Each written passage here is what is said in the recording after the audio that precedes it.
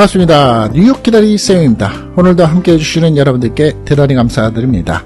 늘 함께 해주시는 분들도 계시겠지만 오늘 처음 방문하신 분들도 계시리라 생각이 되는데요. 오늘 영상 천천히 끝까지 한번 들어보시고요. 여러분들에게 생각이 조금이라도 있으시고 또 나의 발전이 있으실 수 있는 계기가 조금이라도 있으시는 그러한 우리 시청자분들, 처음 방문하신 분들이 되시기를 기대하는 마음으로서 준비를 해 봤습니다. 여러분들은 영어 혹시 잘 하십니까? 미국에 이민을 하고 호주나 캐나다에 이민을 하고 또 필리핀에 살고 계시는 분들 영어에 자신이 있으십니까? 저는 개인적으로 미국에서 공부도 학교에서 해보고 ESL도 밟아보고 또 오랜 시간을 살아왔습니다만 참 영어를 못한다. 어떤 경우에는 참 지지리도 못한다라고 생각을 해봅니다. 오늘 영상에서는 주관적일 수 있고요. 제가 드리는 말씀이 다소 여러분들에게 반감이 있으실 수도 있을 겁니다. 하지만 저처럼 영어를 생각해보면 그렇게 미국에 오래 살아왔어도 도대체 내 수준은 왜 이거밖에 안 되나 라고 생각하는 분들이 있으시다면 저하고 같이 공유를 좀 해보실까 합니다. 영어를 생각하면 때때로는 참 쥐가 납니다. 학교를 다니면서 I'm a boy, I'm Tom, you are a girl 뭐 이런 것만 처음에 배웠다. 그리고 열심히 영어 단어를 외우기만 했다라고 생각을 해봅니다. 미국에 그렇게 살아왔어도 영어를 못하는 한국 1세들 그것에 대해서 종합적으로 한 6가지를 짚어보는 시간인데요. 이민 생활에서 끝없이 괴롭히는 것이 아마 부족한 영어 능력이 아닐까 싶습니다. 뭐 한국에서 이민을 하지 않는 상황에서 토플이나 토익이나 또 학력고사나 회사에 입사를 하기 위해서 시험을 치르는 시험은 참 잘 봅니다. 그런데 이민 생활을 하면서 왜 영어 능력이 내가 이거밖에 생각이 안 될까? 이 정도의 능력밖에 안 될까라고 생각을 해보면 참 여러 가지 다양한 이유들이 있습니다. 우리는 기본적으로 8년 이상을 학교에서 필수 과목으로 영어를 배웠는데도 격식을 갖춘 인사말 한마디를 못하거나 학부형의 입장에서 선생님에게 편지나 교장 선생님에게 이메일조차도 자신있게 한 장을 제대로 쓰지 못하는 게 있습니다. 또 많기도 하고요. 그거는 바로 여섯 가지를 쉽게 생각하고 또 이에 대해서 깊이 생각해 보면 원인이 드러날 수 있습니다.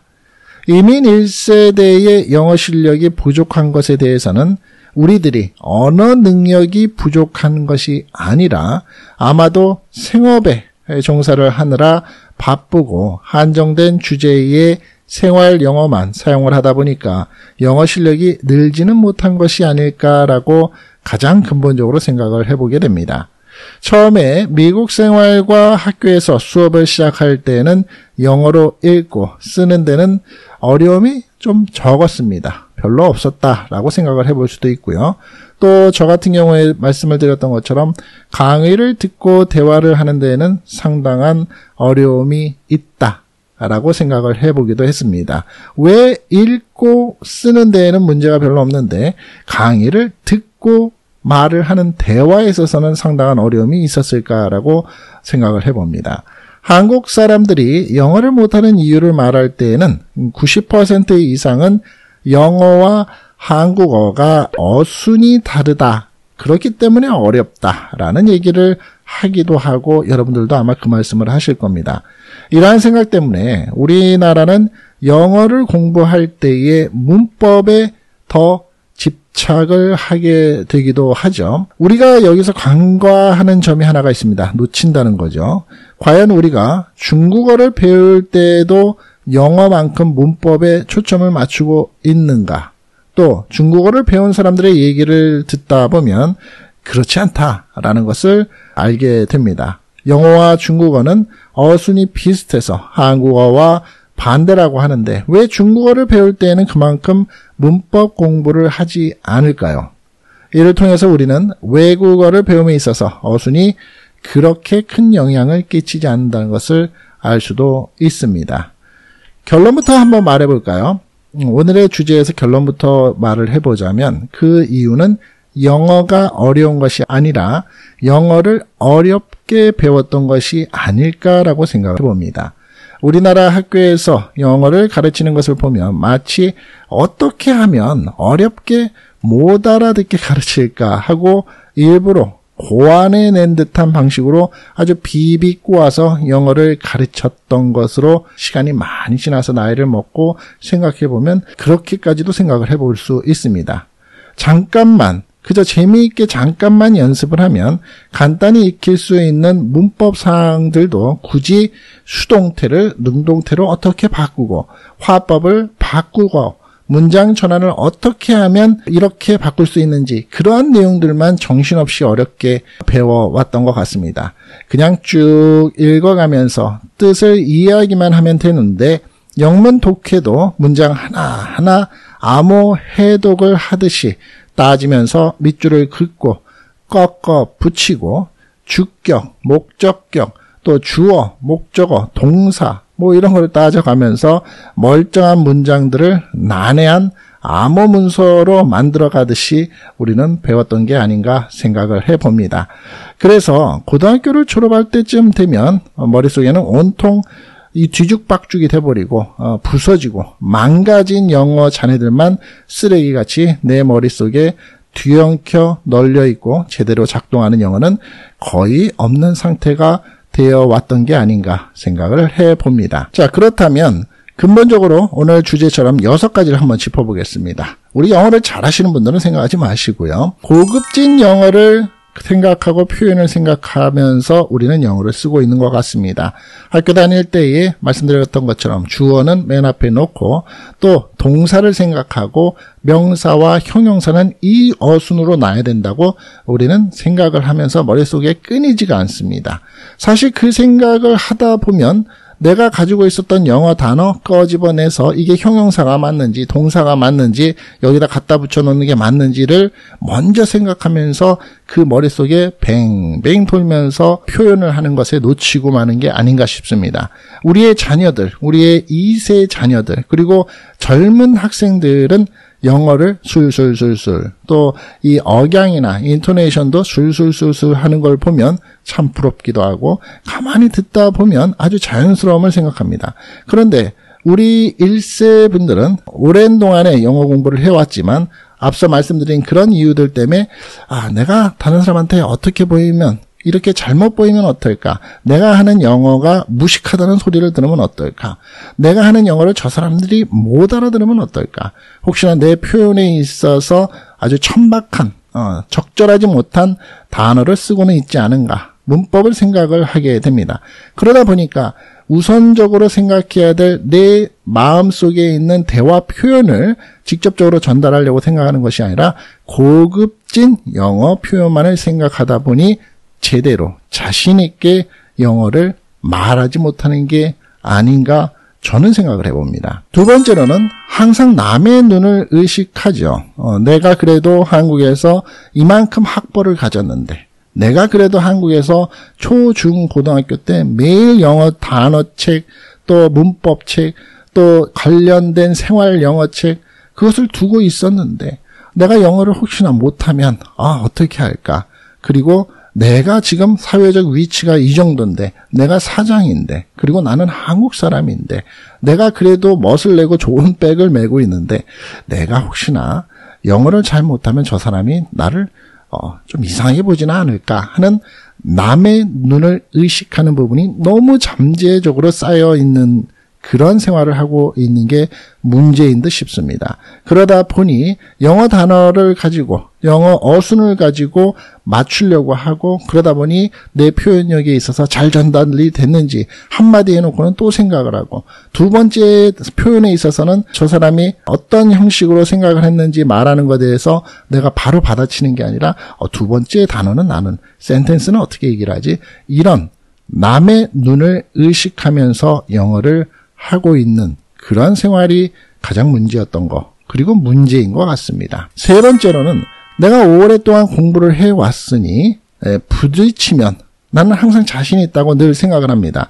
어찌 보면 막상 내가 officially 즉 중요한 어떤 전화를 하거나 관공서에 전화를 하거나 학교에 가서 학부모의 상담, 미팅을 참석을 하거나 또 커뮤니티에 참석을 해서 우리의 커뮤니티, town에서 어떤 행사가 있고 어떤 앞으로의 프로젝트를 하려고 하니까 어, 여러분들의 예, 주민들의 의견을 말씀하십시오. 라고 얘기를 할 때에는 막상 하지는 못합니다. 근데 막상 그런 부분이 아닌 시간에는 내가 뭐 오랫동안 공부를 해왔으니까 어떻게 누군가가 나한테 말을 시키게 되면 할 수 있어.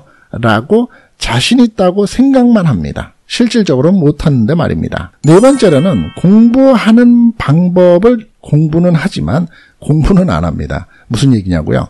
우리가 영어를 앞서 말씀드린 것처럼 학교 다닐 때에는 시험을 잘 보기 위해서 공부를 열심히 했습니다. 문법책 위주로 공부를 했고요.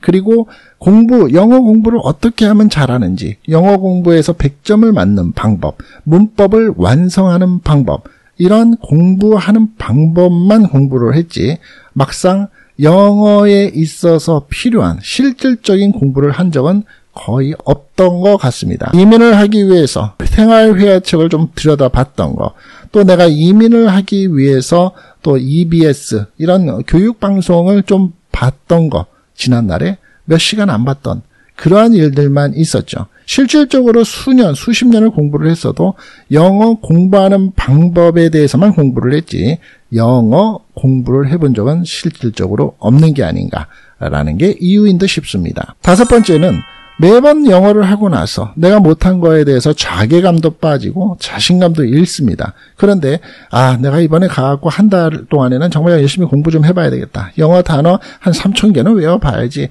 뒤돌아서서 후회를 해놓고는 집에 가서는 드라마를 바로 보죠. 네, 한국 영화 봅니다. 그리고 한국 음식 먹고 집에서는 가족들과 한국말을 합니다. 공부를 해야 되는지 생각했던 것 부분은 언제 생각을 했느냐라고 잊어먹게 되고, 에이, 오늘 못하면 이거를 뭐 쥐잡아 먹는 것도 아닌데 내일 하면 되지, 모레 하면 되지. 그러다가 미루다간 또 안 합니다. 후회를 늘 하면서도 뒤돌아서면 안 하고 마는 이 영어. 여섯 번째는 우리 1세들은 영어 공부를 해오면서 일본의 잔재 속에 영어 공부 방법을 배워왔던 게 가장 큰 문제인 듯 싶습니다. 그래서 그 틀을 벗어나지 못하고 그 안에서만, 문법 안에서만, 표현력 안에서만 우리가 살게 되는 게 아닌가 싶습니다. 제가 오래전에 한번 이런 방송들을 내보내면서 그런 말씀을 드렸던 적이 있었는데요. 미국에 오래전에 도착을 해서 제가 알바를 시작을 했을 때 주유소에서 일을 시작했습니다. 사실 이 주유소에서 일할 때는 얼마나 많은 영어가 필요하겠느냐. 그냥 가스만 넣어주면 되지라고 생각을 했는데 제가 살고 있는 곳에서 이제 주유소를 셀프로 하는 것이 아니라 주유를 넣어주는 곳에서 생활을 했습니다. 뉴저지에서 제가 처음에 생활을 했는데 어떤 손님이 그러더군요. 예, 다 넣고 나서 캐시를 저한테 줘서 거스름돈을 주려고 하니까 이 사람이 keep the change라고 말을 하더군요. 저는 지금 생각해보면 정말 창피한 일인데 keep the change가 무슨 말인지 모르고 웃으면서 그저 친절해야 된다고 생각을 하면서 잔돈을 계속 주려고 하니까 이 사람이 너 땡큐를 하면서 이상한 표정으로 어 너는 잔돈 그냥 가져라라고 했는데 주는 저를 바보로 봤겠죠. 그런 행동을 했던 거. 또 엘리베이터 앞에 섰는데 my guest라고 얘기를 했는데 그 말이 도대체 무슨 말인지 몰라서 어리둥절했었던 그러한 과거의 생각들. 서점에 가서 Harry Potter 책을 찾고 있는데 서점에서 일하는 직원이 저보고 helicopter라고 반문을 하면서 Harry Potter라고 말한 저의 발음에 시비 아니면 우습게 하는 듯한 장난을 섞었을 때 당황했었던 그러한 일들. apron이라는 발음을 하면서 F로 발음을 해야 되는지 P로 발음을 해야 되는지 몰랐었던 미국 생활의 처음을 생각해 본다 그러면 어 찌나 지금 생각해 보면 당황스러운지 창피한지 생각을 해보기도 합니다. 그런데 한편으로는 우리 주변에서 살고 있는 중국 사람들 또 일본 사람들 그리고 남미 사람들을 한번 생각해 보죠. 사실 중국 사람들이나 남미 사람들 영어 하는 것을 보면 정말 어순 맞지 않고 제대로 된 영어 또 인칭 생각하면서 말하는 경우가 거의 없습니다. 그럼에도 불구하고 자신감 있게 큰 소리로 떠들면서 말을 할 때에는 웬만한 미국인들은 그 말을 알아듣습니다. 그러면서 보면서 우리는 그러죠. 때때로는 속으로 무시합니다. 누구를? 그 중국 사람들을. 그럼에도 불구하고 나는 그 중국 사람보다 오히려 자신감이 없다라는 생각을 뒤돌아서서 하면서 그럼 나는 뭔가? 라고 또 생각을 해봅니다. 영어에 있어서 과연 나는 자신감이 얼마나 있는지, 얼마나 자신감이 없이 살고 있는지를 생각해 보면서 혼동을 하기도 합니다. 그렇다면 이 여섯 가지가 저는 개인적으로 그렇습니다. 결론적으로 본다면 이 여섯 가지가 저한테는 가장 큰 문제적으로 제가 이런 방송을 하면서도 영어 잘하느냐라고 하면 저는 자신 있게 못합니다라고 얘기합니다. 다만 이민 생활을 하면서 제가 가장 자신 있는 것은 전화로 제가 무엇인가 요구를 했을 때 들어지지 않은 일들, 관공서에서 제때 일이 치러지지 않은 일들, customer service에 제가 complain 해야 되는 일들을 전화를 할 때는 정말 자신이 있습니다. 그런데 그 안 되는 영어, 못하는 영어인 듯 하면서도 customer service에다가는 정말 잘 싸우고 잘 따져 묻습니다. 뒤돌아서서는 우쭐합니다. 근데 가만히 생각해 보면 내가 썼던 영어들이 맞나? 라고 생각해 보면 창피함이 그지 없습니다. 왜? 문법이 다 틀린 경우도 있기 때문입니다. 그런데 불구하고 왜 자신감이 있었을까요? 내가 필요했기 때문에. 그리고 내 말을 꼭 들어줬으면 좋겠었기 때문에. 그리고 이 대화가 여기에서 내가 필요로 한 부분을 꼭 완성을 시켰으면 좋겠다라는 그 세 가지의 이유 때문에 커스터머 서비스에는 당당하게 싸우기도 하고 내가 싸워야 될 상대방과의 관공서의 일 처리는 자신있게 싸우고 있는 것 같습니다. 그렇다면 너는 왜 영어를 못하느냐? 라고 누군가 물으시겠죠. 그것 또한 제 선입견인 것 같습니다. 왜? 얼마나 오피셜리 내가 거벌먼트에서 사용하는 대통령들이 사용하는 정말 빌 게이츠나 일론 머스크처럼 그런 큰 비즈니스를 하는 사람들처럼 아주 멋진 영어, 고급스러운 영어를 쓸 일이 있는 것도 아닌데 그것만 생각하는 것 같습니다. 그리고 한국말을 쓰는 시간이 더 많은 것도 문제이긴 합니다. 저와 같으신 분들이 참 많으실 텐데 어떠신가요? 그렇다면 결론적으로 어떻게 영어를 해야 자신감이 있고 좀 더 좋은 또 내가 생활하면서 영어다운 영어를 쓸 수 있을까요? 그것은 바로 앞서 말씀드린 제가 생각하는 여섯 가지를 쉽고 반대로 생각해 보면 당연히 나아지겠죠. 이민 1세대의 영어 실력이 부족한 것에 대해서는 그들의 언어 능력이 부족한 것이 아니라 생업에 종사하느라 바쁘고 한정된 주제의 생활 영어만 사용하다 보니 영어 실력이 늘지 못한 것은 아닐까. 그것이 이유라고 생각을 해 본다면 이제는 조금 더 생활 영어인 내가 생업에 종사하는 영어만이 아닌 일반적으로 내가 표현하고 싶은 내 감정을 표현하고 싶은 하늘을 쳐다보고서 내가 생각하는 멋진 하늘에 대한 표현력을 생각해 볼 수 있는 영어 그 영어 그렇게 까다로운 단어가 쓰여지지 않는다는 것 그렇다면 여섯 가지 중에서 이 부분을 조금 극복할 수 있는 한두 가지가 나한테 맞는다면 여러분들도 한번 노력해 보시면 어떨까요? 왜? 나의 자신감 때문에 그렇습니다. 앞으로도 미국에서 살고 미국에서 땅에 묻힐 것을 생각하는 우리 이민 1세이신 분들 지금도 영어 쓰는 데는 문제가 없는데 나는 지금 상업을 하면서 돈을 영어를 이 정도만 써도 많이 벌고 있는데 물론 그렇습니다. 그렇지만 내 자녀들, 내 자식들과의 커뮤니케이션도 영어로 잘 되시나요? 아니죠. 내 자녀들한테 의지하고 내 자녀들이 생각하고 있는 나, 부모의 영어 실력에 대한 평가는 분명히 있을진데 앞서서 부모한테는 말을 안 하겠죠. 때때로는 영어로서 슬랭도 써보고 때때로는 영어로서 유머러스한 일들. 왜? 지금은 SNS가 발전이 되는 시대이기 때문입니다. 또 인스타그램, 틱톡 이런 것들에 나오는 영어를 보면 단문이면서도 자연스러운 우리들이 쓰는 영어들 알아들으십니까? 저는 모릅니다. 그렇기 때문에 노력하고자 합니다. 저 역시 부끄러움이 많습니다. 어떠십니까? 우리 영상을 들으시는 분들은 같이 다 들으시는 분들마다 생각이 틀리시겠죠? 여러분들도 생각하시는 영어, 내가 왜 근본적으로 어떤 문제점을 가지고 있는지, 내 성격에 문제가 있는지, 아니면 내 환경에 문제가 있는지를 한번 거듭 생각해 보시는 여러분과 저와의 비밀스러운 오늘의 시간을 가져봤습니다. 자, 다음 시간에 더 좋은 영상으로 찾아뵙고요. 오늘 끝까지 영상 함께 해주신 여러분들께 대단히 감사드립니다. 우리 멋진 영어, 앞으로도 제대로 된 영어 쓸 수 있는 시간 분명히 있을 겁니다. 백세 인생이라고 하니까 말입니다. 감사합니다. 뉴욕 기다리 쌤이었습니다.